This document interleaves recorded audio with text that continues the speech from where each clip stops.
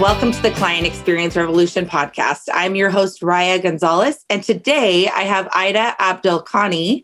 She is the CEO of Ability to Engage and a super awesome person. So I'm really excited to have her here with us. Welcome, Ida. Hi, thank you so much for having me. Well, tell us a little bit about who you are, um, who you serve, and um, what you do. Yeah, absolutely. So I'm the chief catalyzer of Ability to Engage. We are a boutique consultancy and we focus on three main things, which is consumer research, brand strategy, and innovation. But at the end of the day, uh, the whole goal behind A2E and the work that we do is helping people feel understood.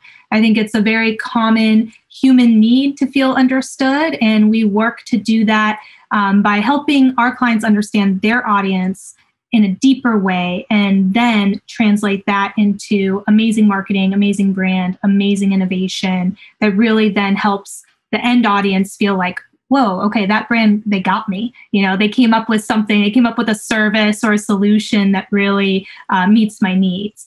Um, I'm also a speaker and a laughter yoga instructor and a professor. And so uh, I have a lot of different creative interests that keep me busy uh, that I'm pretty passionate about as well. I discovered you um, through your TED talk that you did on laughter and joy. And I um, just was drawn to it because I think there's not enough joy in the world. And so tell us about how you think that laughter and joy in the workplace can be a really pivotal piece of our life. Absolutely. Yeah. I mean, I found laughter yoga after I left corporate America. So I used to work at Procter and Gamble. I was a global brand manager there and I resigned and was just looking for ways to figure out how to de-stress a little bit for myself. So this was um, about 10 years ago and so laughter yoga was very unknown. It's still relatively unknown but back then you know was was very niche. Um, and i just discovered it through a google search myself as i was looking for you know meditation and like i typed in i think alternative forms of meditation. And so i found this thing called laughter yoga and um, ended up loving it. And well i'm sure we'll probably get into laughter yoga itself a little bit later but the idea for me was simply you know when we have so much stress in our lives, right, what are some different tools that we can put into our toolkit to help us relieve some of that stress? And for me, what I loved about laughter um, is just the idea that it's something that's free, that you can literally do at any time, right? I don't have to go to a certain location to laugh. I don't need to have something with me to laugh, right? I mean, I can literally just make myself laugh intentionally um, to get that release and to bring that joy back in. So that's what I really love about laughter and trying to bring it into the workplace as well and um, into our lives as, as much as possible, whether it's professional or personal. Um, it's just such a release and it, it has so many benefits for for us from you know body physically to mental and emotional as well um, and it's like i said free and easy to to do at any time so yeah i think it's an amazing tool I agree. I agree. I know we were talking in the green room, we were talking about an example um, when I was working in healthcare and it, you just get caught up in the daily grind sometimes and you forget to like you forget that you're a, per- a person. Yeah. and um, I had just this was when LuLaRoe had just like really hit or whatever, and I was wearing scrubs, and underneath my scrubs I had a pair of black leggings on, and they are really really soft. If you've ever touched LuLaRoe leggings, you will know what I'm talking about.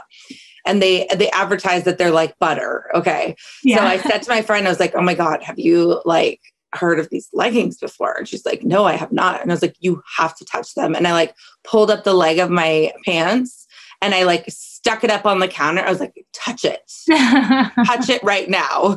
And so then we started it like it morphed into this thing where we would do side lunges. And then we were like, we can't just side lunge. We have to do jazz hands while we're side lunging.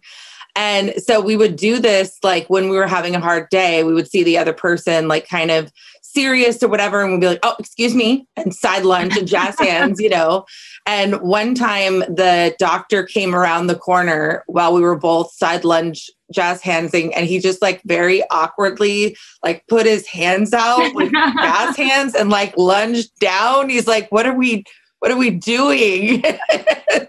he was on board. I love it.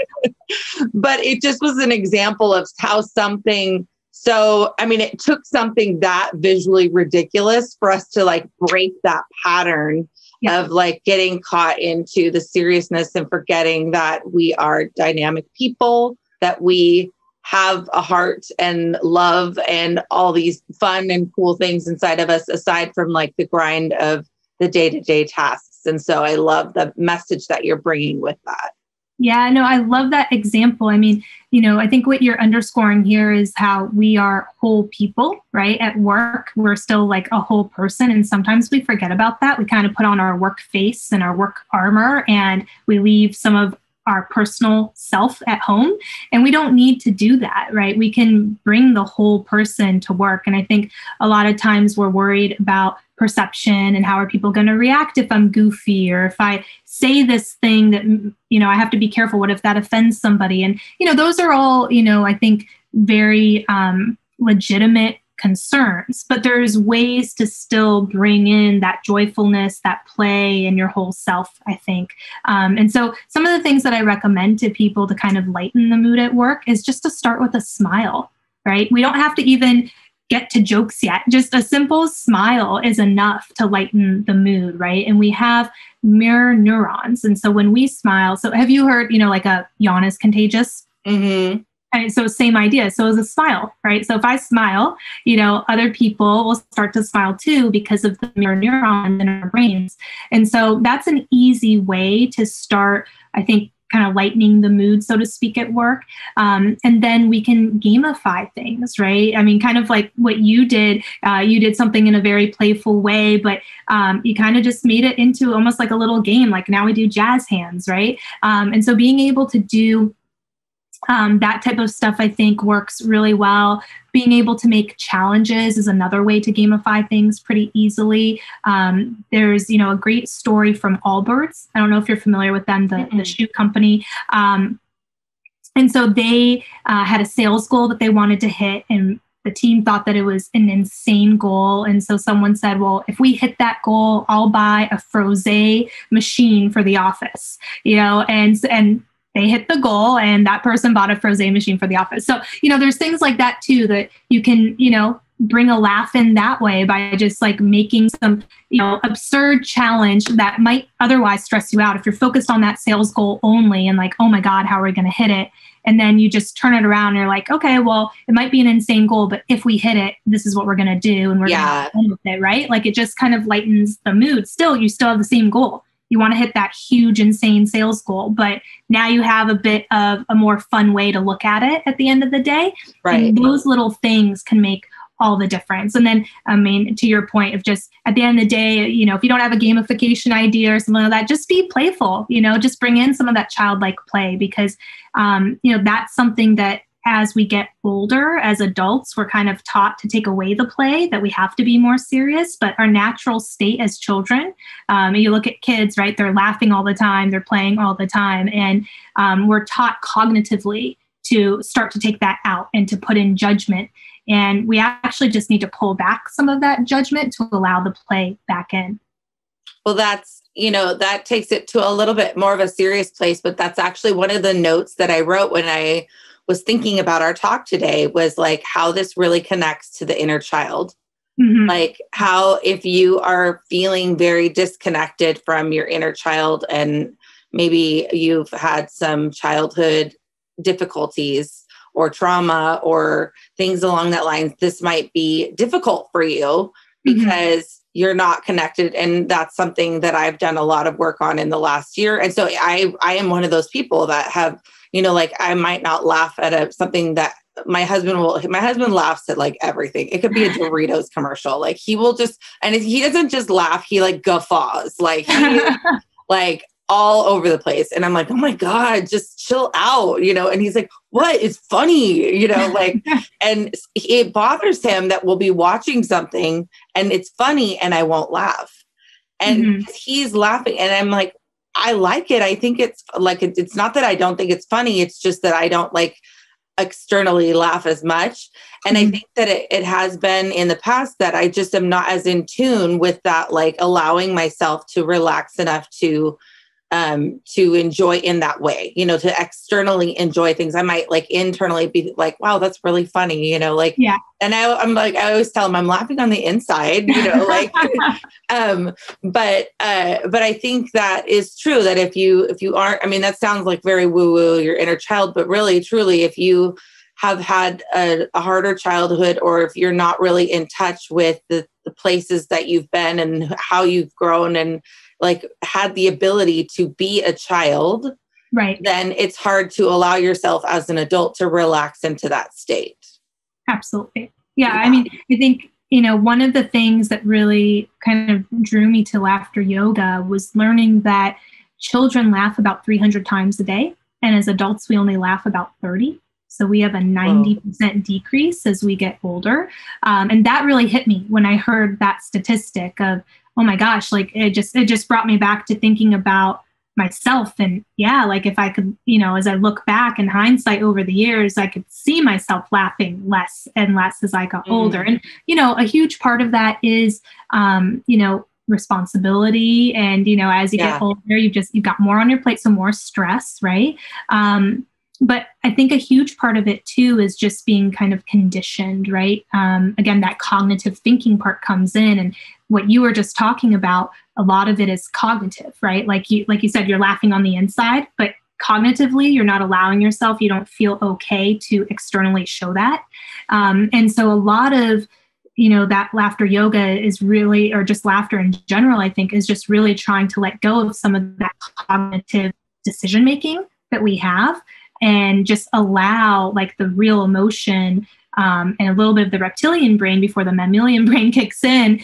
to just react right and just to feel whatever it feels you know um, and that that's something though that takes work now because we've been conditioned a certain way like we right. have a certain thought process like even again in your example it will take work and time for you to be able to work through that and allow yourself to put the cognition aside and say let me just like if i feel this like let me just feel it. Yeah. Tell us, so let's dig in a little bit. Tell us about what laughter yoga is. Yeah, so laughter yoga, um, I, I often tell people that they need to put aside their connotation of what yoga is uh, because now, you know, yoga is so popular. And so I think a lot of people think like they need a mat or, um, you know, they need to be in their workout clothes and the, the like butter tights, you know, um, but that's not what it is at all. It is uh, called yoga because of the pranayamic yogic breathing. So that's how it gets the yoga name. Um, but we're not doing a bunch of stretches, and you don't need to be in a yoga studio. You can literally do it anywhere. You know, I've done it in huge auditoriums. I've done it in yoga studios. I've done it in parks. You know, um, you can really do it anywhere. And so, um, laughter yoga is based on the idea of again the pranayamic yogic breathing, which is filling up your diaphragm and exhaling so that you're really pushing out the stale air and oxygenating yourself and then laughing as an exercise.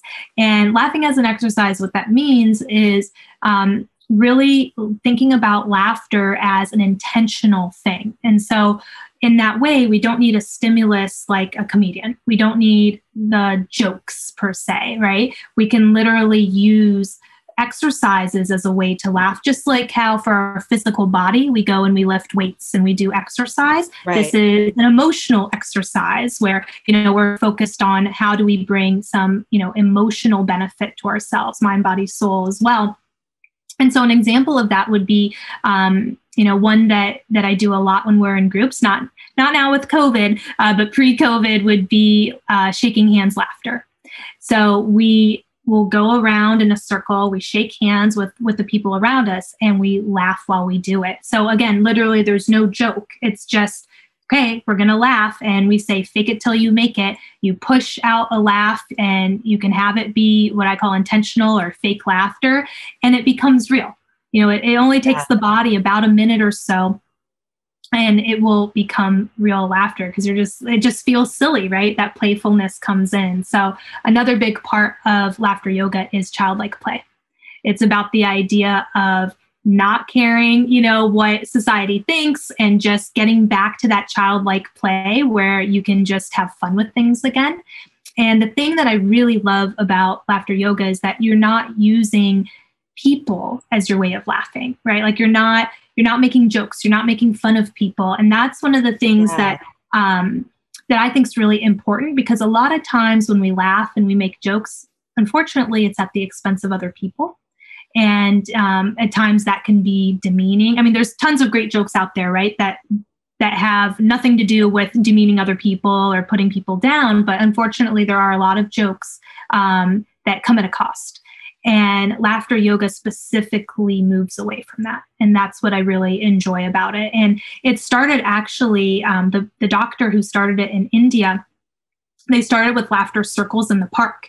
And they would put one person in the middle and that person would tell jokes and they would all laugh and that that's actually how it started and it got to a point though where um, you know they kind of ran out of jokes and one person said like well i don't feel good about this because a lot of the jokes that we're saying are negative right? Or like it's making fun of people. And then that's when the doctor went back dr Madan Kataria went back and started looking at you know more research and thinking about well how can i induce laughter for not telling jokes? And then yeah. that's how he actually came up with the laughter yoga exercises that he started with was specifically around like i don't want to be negative you know? Uh, yeah. i don't want us to be making fun of people.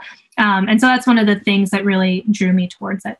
Oh i love that. I love that what do you recommend for people that may feel uncomfortable laughing intentionally and without a prompt mm-hmm. so like when we're talking about this we're talking about like the fake laugh type thing so yeah. if they feel super awkward and they want to try this out, yeah, but they feel uncomfortable, how do you help them get past that? Yeah, so I always say, you know, the number one thing to think about is would you rather feel uncomfortable laughing because, you know, you have no reason to laugh but it releases you know all kinds of great endorphins for you and dopamine etc you know or um, you know would you rather take the loss of not laughing at all right? Um, so that's kind of for me like it's it's that opportunity cost. Is like yeah i could maybe feel uncomfortable laughing um, for you know no reason so to speak or intentionally laughing without a joke. And yeah it could feel awkward but the trade-off is to not laugh right? Like the trade-off is to not release the dopamine and the endorphins and to continue to feel the stress. And so for me, you when when I weigh those two things, I'm like, okay, I'd rather take a little bit of the awkwardness at the beginning um, to get the end benefit of being able to to feel really good from a good deep belly laugh. So, you know, that's the number one thing I, I tell people is just ask yourself about what you're trading off, you know, and is it worth it to you to feel a little awkward? And for some people, it's not, and that's okay right? For some people, the idea of feeling, you know, awkward, laughing intentionally makes them feel a little crazy, um, yeah. and they and they don't want to go there. And that, you know, that's it's an individual decision, right? You can't can't make people do it. Um, but I think that if you really think about what do you have to gain from it, what's the opportunity there versus what's the risk, and the risk really is mostly around ego. It's right. mostly around you know what are people going to think? It's not like this is something where you're going to you know risk losing money or you know there's not like real tangible risks to this. It's it's more of the soft intangible stuff of like how do you feel? How are you perceived? How are other people going to think about you? And a lot of that honestly comes down to our own egos um, which is not an easy thing to solve at all but right. I think if you put it if you put it in that context about what's the real risk, right, um, then it it helps to think about it more as an opportunity to gain something, an opportunity that helps you uh, bring something new into your life that really doesn't have a lot of downside. Absolutely, and I was thinking it would be an interesting personal experiment, like to go through a normal day and count how many times you laugh. Yep. And then mm-hmm. try to do this and count how many times you actually like like maybe count how many times you try or like mark down when you're going to try and then how many times you actually laugh you know whether that be a result of the intentional laugh or actually laugh you know yeah. to like as an experiment to show yourself like this can work and you know and also like i mean it, it almost like when i thought it i thought oh my gosh i'm almost a little afraid to do that like yeah. what if i'm not laughing like at all you know i know that's yeah. not true because i have an 11 year old and she's effing hilarious. and so we'll do like the like in our house, like I have so I have three daughters. One's 22, one's 20, and one's 11. The 20 year old still lives here, but she's in and out, you know. Um, and so the term of endearment between the two girls is poopy stink or stinky poop. So then, I mean, you can't like not laugh when you hear them. They're like, "Hey, stinky poop." Um, I was gonna go to, you know, like you you can't not laugh when you hear the yeah. talking to each because it's it's like they say it like they're saying, "Honey, honey, dear," right? Like, hey, poopy stink, you know. Yeah, um, it's their version of playful. Yes, exactly. but but I think there's I think that there could be some um, resistance only because there's some fear that there's yeah. it's actually worse than you think it is. Mm-hmm. But you there's just a place of awareness. Even if you didn't do that where you like tracked how much you actually are, even if you just said like I wonder how many times I could make myself laugh today. Yeah. You know I mean? Or how many times I could smile today and then just like mentally track that. It would be really yeah. interesting. Well, so I have a challenge for you. Oh, I Let's would love it. it let's do it together for a week because I've actually not done that. I've not tracked okay. how many times I laugh a day. So today's the 23rd. So what if okay. we do it till the 30th, till the end of the month? Yes, I'm totally in. All right. All right, yes. let's. It'll be interesting to see because actually, I don't know. I've never counted how many times I laugh a day. I do know, I mean, to your point, when I've brought up um, the idea of how many times children laugh a day versus adults, um, I know a lot of people say, oh my gosh, I don't even think I laugh 30 times a day you know and it's it's an average right? So you can have less than that and you can have more than that. Um, but yeah there you know i get the feedback a lot that a lot of people don't feel like they're laughing even 30 times a day. And if you think about that um, wow you know what opportunity do we have right. in our lives right? That if we're really going around all day long without laughing at all or maybe only once or twice um, you know how much lighter we could feel how much different our problems would feel and the stress would feel if we could kind of reorient um, you know how we're approaching things with a little bit more laughter. So yeah. yeah. let's do the challenge together. Oh i'm in. I'm in. And for anyone who's listening later on after this um, releases we would love to hear your even if you do it for a day. Yeah. Just respond post on the post comment. Let us know how many times you ended up laughing if it was what you expected if it was not what you expected we want to hear um, you know more about what other people's experiences are for sure. And yeah. i'll post and i'll post my results too. Yeah yep same i love it. um, so tell us when we bring this con- these concepts into the workplace and how you know how do we do this? How do you recommend that this work be done in a team setting and that they want to um, you know, improve the stress level, but they they also want to keep the professionality in in the workplace. So, yeah. you know, how how do you do that so that it can still be taken seriously? Yeah, I mean, I think the number one thing is that you have to read the room, right? So there's different work cultures, there's different types of teams and personalities, and um, you know, laughter, while it is incredibly helpful, right? It's not appropriate in every situation. Um, and so you have to really think about, you know, reading the room, but what you can do so while laughter might not necessarily work in every single situation i do think the idea of lightness and levity yeah. can work in every situation right um, even in the most dire of situations like there's a way to approach it that adds more stress and there's a way to approach it that can make it a little lighter without necessarily um, solving for it right? Like you might not have the solution right away for for some of these challenges and and stressful situations but the approach again can be changed. And so um, that's my number one recommendation is just you know don't necessarily go in thinking oh i got to make people laugh right? Just go in more with like okay let me read the room let me read the situation. First can i bring lightness or levity to the situation right. in some way? And then and then i would say the second step from there is then okay can i bring some laughter to it right? If it if it feels appropriate. Then once you start bringing in the laughter um, i always caution people to be careful about not using demeaning jokes right? Going back to what we were just talking about um, and why i love laughter yoga is because you don't really have a fear of of saying something that could be offensive or you know using people as your crutch for laughter right? Um, and so be careful of demeaning jokes be careful of dirty jokes. I mean i know i hear that a lot you know in the workplace especially sometimes like women feeling uncomfortable like right. ha ha ha like you feel like you have to laugh because everybody's laughing but it was really kind of like maybe a dirty joke or something that made you uncomfortable. Um, and so you have to be careful because using jokes is a double-edged sword right? It can it can create laughter and it can create strong ties. It can also create a lack of respect amongst your team members right, right. if you're using demeaning jokes or you're using dirty jokes. So you know, with laughter, a way that you can bring in laughter without using the demeaning jokes is um, like what we talked about earlier, like gamifying things, just being playful, right? It doesn't have to be, we, we connect jokes so much as like the the how to for laughter. Yeah, it's like the trigger. Um, as yeah, as the trigger and the how, and um, and it is a great how. I'm not saying like that we don't need comedians in our lives. We do. Um, it's a, it's an amazing resource to have, but that is not the only way to trigger laughter, right? right. Um, and so you know, just kind of go into thinking of laughter as I think a broader scope than just the idea of, of needing a joke or needing a comedian.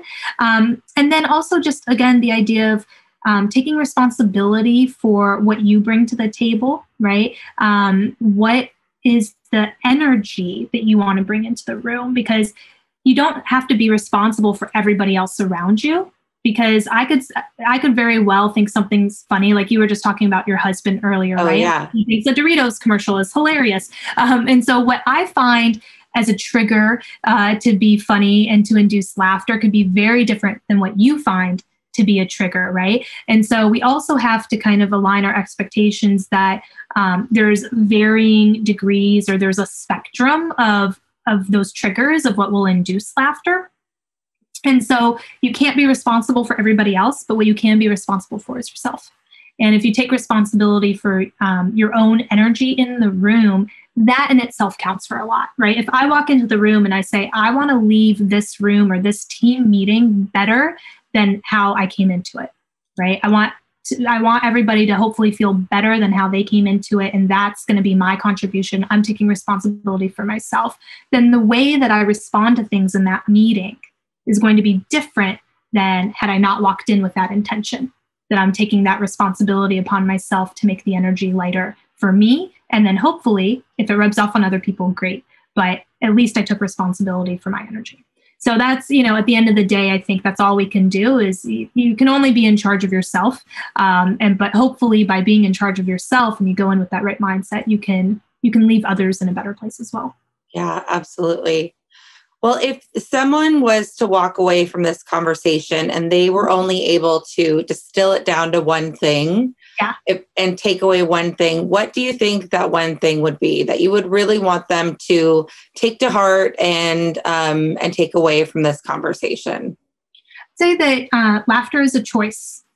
Mm. You know, that at the end of the day, um, we can't change the situations that are in our lives. A lot of times, I mean, we, we can change some things, but a lot of things are out of our control in life.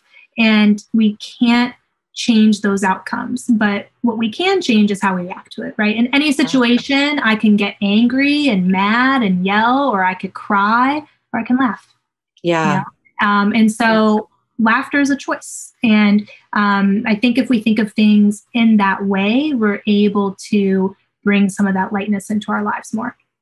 Who doesn't need a little bit more lightness in our life? I love that. we all do, especially now, right? yes.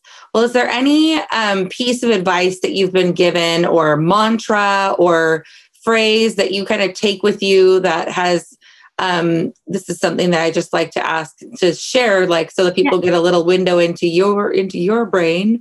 But is there anything that stands out for you as meaningful that you take with you, whether that be laughter related or joy related, or just something that has really um, stood out as meaningful for you?